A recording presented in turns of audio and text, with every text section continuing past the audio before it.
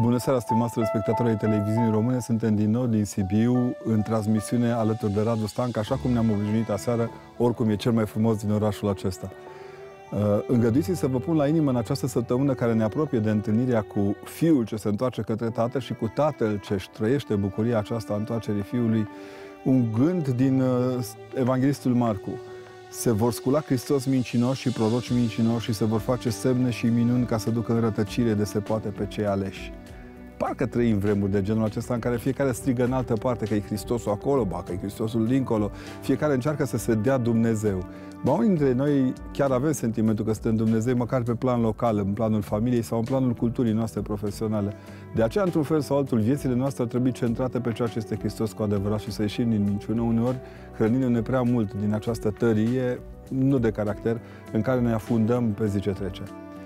Atenționarea aceasta pe care Sfântul Evanghelist Marco consemnează, Domnul Hristos o face privitor la sfârșitul lumii, privitor la apropierea noastră de sfârșitul lumii. Poate că nu e cazul, veți zice, nici eu nu cred că e cazul, dar e cazul să ne aducem aminte că în perioadele grele, în perioadele acestea dificile, se ridică tot soiul de profeți din nimicuri și pentru nimicuri.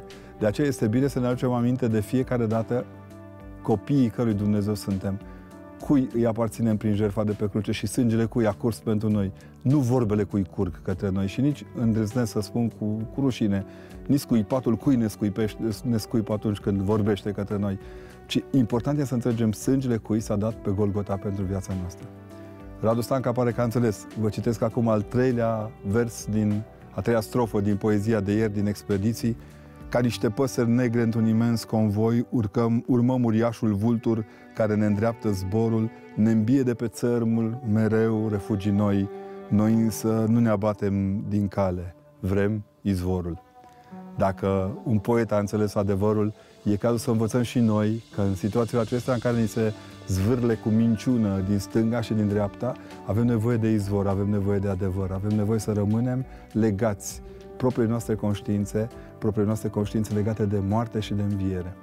Trăim în vremurile acestea un pic ca fiul risipitor, ne-am împărțit în jocuri și uneori slujim porcilor mai mult decât uh, propriilor noastre interese.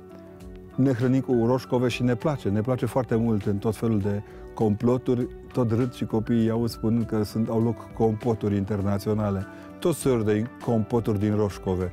Să vrem izvorul este important, să ne menținem aproape de izvor devine fundamental. Ba mai mult decât atât, să ne hrănim din bucuria de a descoperi izvorul, rămâne fundamental legat de viețile noastre.